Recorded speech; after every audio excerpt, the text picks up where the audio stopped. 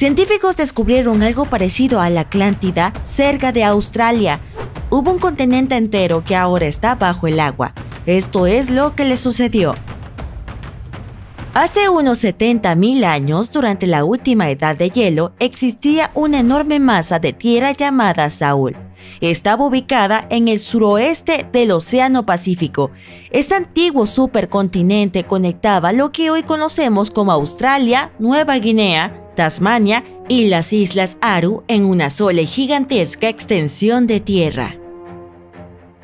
Imagina unas exuberantes selvas tropicales rodeadas de hermosas montañas. Las más altas de Saúl estaban en las tierras altas de Nueva Guinea, con picos que alcanzaban más de 3.900 metros.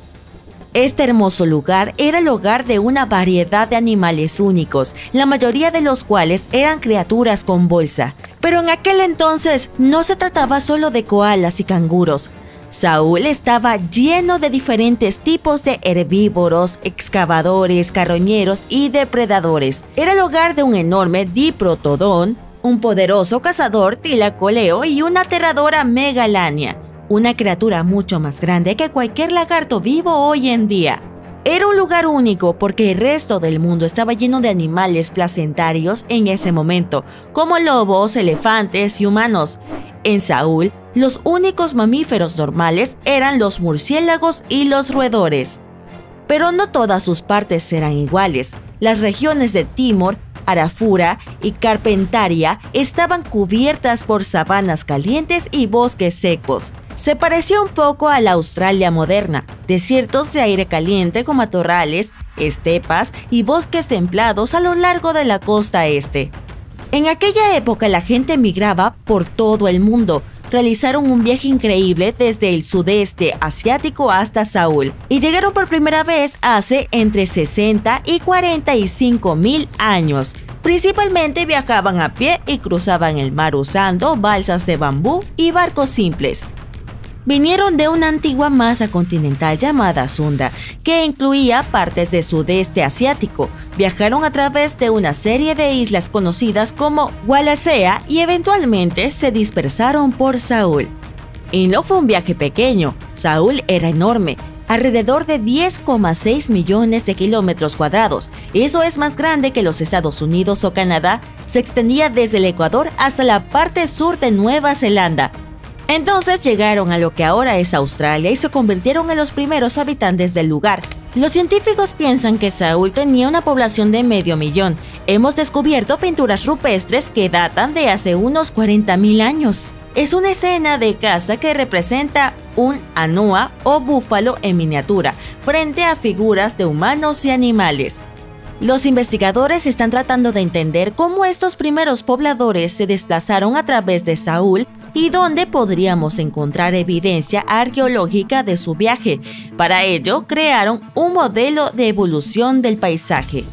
La simulación mostró cómo Saúl cambió entre hace 75.000 y 35.000 años. Mostró posibles rutas de migración y sitios arqueológicos. Es probable que los humanos viajaran a lo largo de las costas y ríos. Pero, ¿cómo se sumergió Saúl frente a la costa de Australia similar a la mítica Atlántida? Durante la última edad de hielo, gran parte del agua de la Tierra estaba encerrada en enormes capas de hielo y glaciares. Los niveles del mar eran mucho más bajos que los actuales. Después de eso, las temperaturas globales aumentaron, las capas de hielo se derritieron y los niveles del mar subieron, inundando los puentes terrestres que una vez conectaban diferentes partes de Saúl, Hace unos 8.000 años, Nueva Guinea se separó de Australia continental y luego hace alrededor de 6.000 años Tasmania hizo lo mismo. Todavía podemos explorar las partes submarinas de Saúl gracias a la nueva tecnología. Los buzos exploran y recolectan muestras directamente del fondo del océano. Los drones submarinos pueden ir a lugares que son demasiado profundos o peligrosos para que los humanos los exploren y con el mapeo por sonar, los científicos usan ondas sonoras para crear mapas del fondo oceánico. Es como usar un eco para ver lo que hay bajo el agua. Las ondas sonoras rebotan en el lecho marino y regresan, ayudándonos a crear una imagen de cómo se ve. Bajo el agua, los arqueólogos han encontrado herramientas de piedra y otros artefactos. También descubrieron fósiles animales como el diprotodón y el tilacoleo. Al estudiar el terreno submarino de Saúl, aprendieron sobre los ríos antiguos, lagos y costas que existieron durante la edad de hielo. Pero Saúl no es el único continente submarino. No es la única joya oculta del sudeste asiático toma a Sondalandia, un lugar compuesto por Sumatra, Java, Borneo y algunas otras islas. Este lugar era increíblemente grande durante la edad de hielo, pero ahora está casi completamente bajo el agua. Casi, pero no del todo. Las partes sobre el océano están llenas de vida. Si te gustan los pájaros, visita este lugar. Alberga casi una quinta parte de las especies de aves del mundo Puedes ver aves coloridas como el águila halcón de Java y el estornino de Bali entre los frondosos bosques. También es el hogar de una cuarta parte de las especies de peces de la tierra. Las aguas de Sondalandia son un paraíso para la vida marina, incluso para los animales más exóticos como las arowanas asiáticas. También es un tesoro de flores, ahí es donde puedes encontrar la raflesia y el tintan arum, las flores más grandes del mundo. Esto lo hace muy similar a Zenlandia. Zenlandia es una porción de tierra larga y estrecha, aproximadamente la mitad del tamaño de Australia. Se separó de la Antártida hace unos 100 millones de años. Al igual que Sondalandia, no está completamente bajo el agua. El 7% de él se mantuvo por encima del nivel del mar. Esta pequeña parte que sobresale es lo que ahora llamamos Nueva Zelanda, junto con la isla Stewart y algunas islas más pequeñas. Estos pedazos de Zenlandia son exuberantes y cálidos, están llenos de volcanes, cordilleras, hermosos géiseres naturales y fuentes termales. Los habitantes locales, los maoríes, utilizan estas aguas termales para cocinar. Colocan maíz, huevos y verduras en cestas y las sumergen directamente en las aguas termales. A veces cocinan la comida en un horno de pozo usando piedras calentadas. Otro mundo oculto es conocido como Argolandia. Esta misteriosa masa continental fue una vez parte de Australia, cuando los dinosaurios se paseaban por allí. Volvió locos a los científicos durante décadas. Sabían que existía porque dejó una gran extensión en el antiguo lecho marino, la llanura abisal de Argo, Hace unos 155 millones de años se desprendió de Australia diciendo adiós. El continente derivó hacia el norte y cuando llegó al sudeste asiático simplemente desapareció. Los científicos no tenían idea a dónde se fue, pero hace poco finalmente encontraron sus restos. Resulta que las partes inferiores de la pobre Argolandia comenzaron a hundirse en la fosa de Sunda, un aterrador pozo oceánico muy profundo. La corteza terrestre se hundió en el manto. Mientras tanto, las partes superiores de Argolandia fueron empujadas hacia arriba y agarraron las rocas más jóvenes en tierra firme.